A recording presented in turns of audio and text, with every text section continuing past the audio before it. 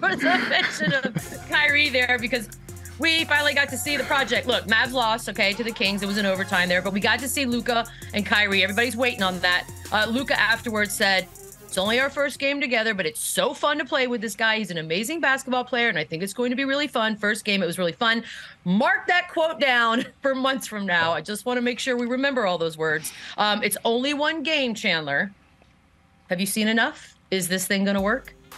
Uh, listen, I think it's a work in process, but I do think these guys understand what has to be done. They're both smart enough players. They're both so advanced and so good offensively that this should be able to work. And I think when you look at where they are, they're right there in the thick of things in the West. They're in home court advantage.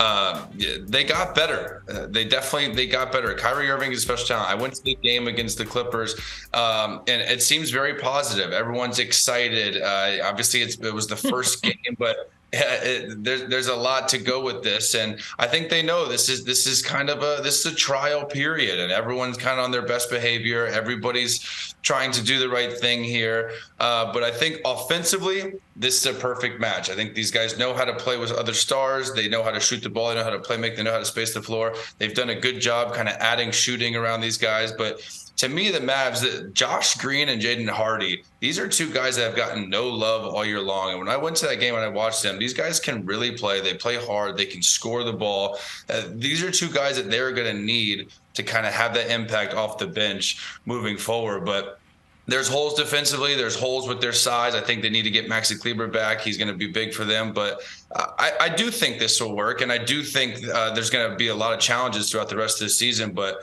this was to me was a great move for Dallas. And again, it's the same thing with with Phoenix. You you you want to go get a Kevin Durant, you're going to have to give up some stuff, and it's going to be some sort of a risk. He's 34 years old, etc. Same thing for the Mavs. You had a chance to go get the best player available at the time. They did it. Yeah, look, they're they're going to be an absolute monster on offense, and you can just see the struggle with guarding that team and those two guys.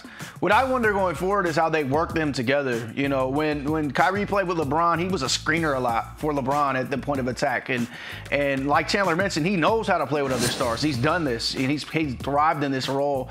And I wonder when they get into that, when they get into pet, pet plays like that, and pet actions that will make them better. There was a lot of hot potato, a lot of your turn, my turn, and, and a lot of, and they ultimately lost. So their, their defensive struggles will persist, and, and they do have to bend quite a bit to cover for Luka, who kind of just doesn't defend, and Kyrie, who has his struggles on that end as well. But uh, they're they're good enough, they're talented enough offensively, and and like like Chandler mentioned, the young the young boys they got waiting in the wings, those are snipers out there who can make some stuff happen. So this is going to be a very interesting team watch going forward, and, and they're going to be a dangerous out in the playoffs.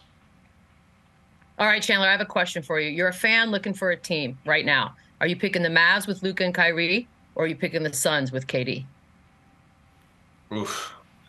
To me, I'm a homer. I'm a homer. I'm going with the Mavs. Honestly. Uh, you, you think? Look, they have the same record, the same record at home, the same record on the road. So we will see which trade kind of worked better from this moment forward. But to me, it's the, it's the depth of the Dallas Mavericks. Like the two kids I just mentioned, they have uh, they still have guys like Christian Wood, Tim Hardaway Jr., Reggie Bullock. To me, they have more outside those two stars, and uh, that's huge to me. Obviously, they have their holes with depth, they have their holes with defensive uh, defensively, size, etc. But when you look at this team, this is going to be an offensive juggernaut. And Kevin Durant is older in age. Chris Paul is older in age age. DeAndre Ayton, let's not forget about all the issues he's been through in Phoenix. So to me, I think the safer pick is Dallas.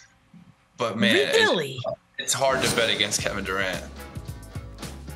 I, that's that's crazy. Yeah, a four five is uh man. Let's start the let's start him today. Might as well. We know where everybody's gonna be. not this year. Um, Shams, look. For those of us who are not capable of living in the now and we just want to look ahead, this time next year, Kyrie, Will he be in that Mavs uniform? What are we thinking here? I think if, if everything goes well the rest of the season, and then in the summertime, listen, uh, he's going to be a free agent. He's going to be going through another free agency process, take meetings.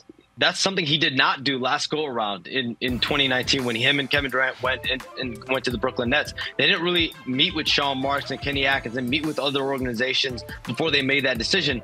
Uh, so now I think him having a, a actual free agency uh, as long as everything goes well the remainder of the season, the Mavericks were one of his preferred spots. We saw at the end uh, at the end of, of, it, it was Lakers, Suns, Mavs. I don't think Kyrie Irving had a problem going to either of those teams, and I really think in Dallas he has a great fit with Mark Cuban as the owner. Nico Harrison, who him and his family know. Jason Kidd vouched for him heavily throughout this season.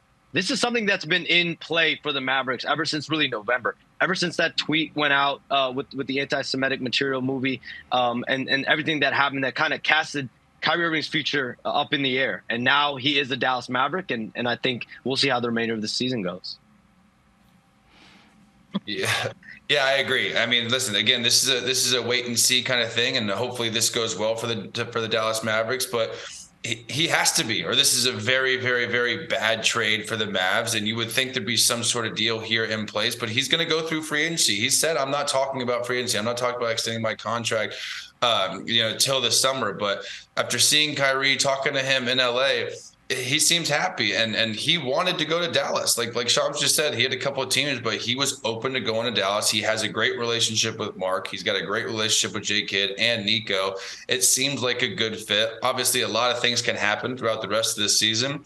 And but yeah, I'm with Shams. I think if, if, everything goes well and, and you know they make a nice little run there, I can see him getting a you know three to four year deal extension and uh, for a max uh, in Dallas. Eddie. So the options are he either stays in Dallas or he asks for another trade. How shocked no would you else, be? Listen, if it doesn't work in Dallas, no one else is paying him. So if if, I'm oh, Kyrie, please, for a long, yes, somebody long, will pay him. They're not giving him multiple I, years. I think, Chandler, sports are stupid. That's why. That's why somebody will. It's it's like we fall for it every single time, so, or somebody falls for it, right? right? Like it's not us. What do you think, Eddie? Would you be shocked at all? I wouldn't be shocked at either direction. I, I, I wonder what works right. is like. Are they they win a playoff series? Does that works? If, if he shoots bad in the you know the conference semis, is that that linger into his free agency? If, if he's taking 10 meetings, is Mark Cuban sitting there a little miffed about that? Like, hey, I really went out on a limb for you? I, I wouldn't say anything is a sure bet with Kyrie. I, I, think the safest bet is a little bit, you know, a little bit of dysfunction and a, and a little bit of uncertainty when it comes to Kyrie. I, I, think he means well. I think he's a great guy. I think he's an incredible player. And I think he wants to stay in Dallas as of right now. But what is this? February, uh, March, April, May, June. Ju- Five months is a long time. Five months is a long time. time is all long, I'll say. That's that's forever. that, that is a really yeah, so long that, time. It's like this is why you don't mention divorce and wedding vows. It'd be a little awkward, but I feel like that's Kyrie Irving in a nutshell. Uh,